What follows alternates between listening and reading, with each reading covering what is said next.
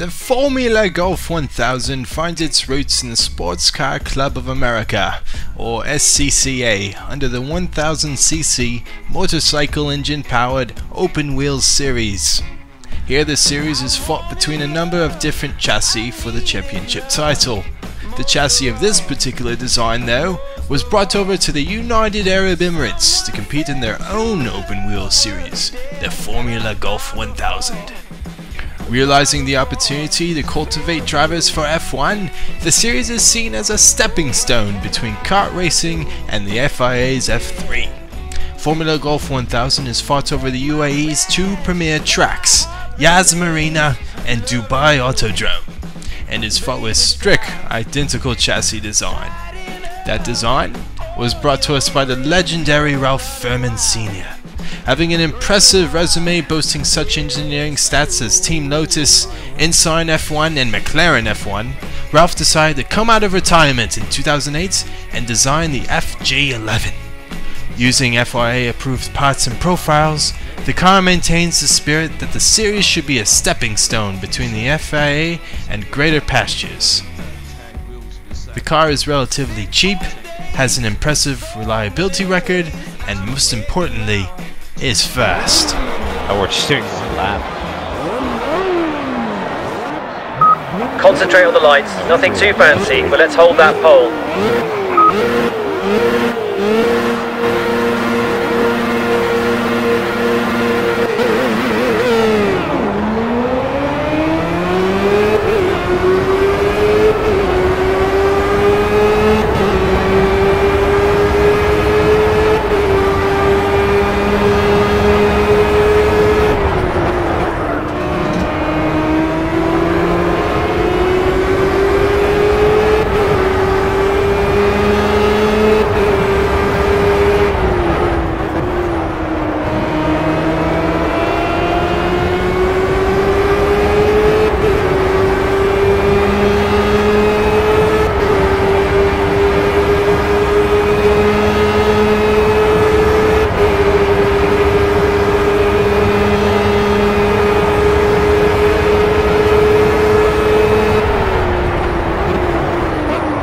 Sorry. Oh there, buddy.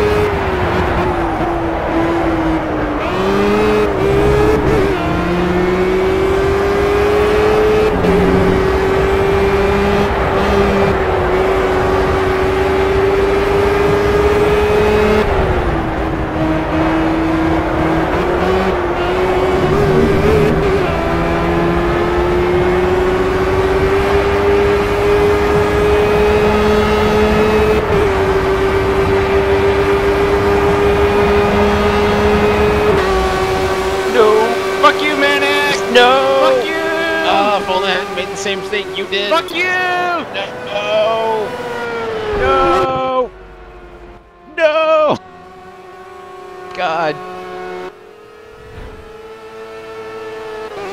Ah. Wow, guys, could you be any more closer at the front? Would you like to be inside of each other?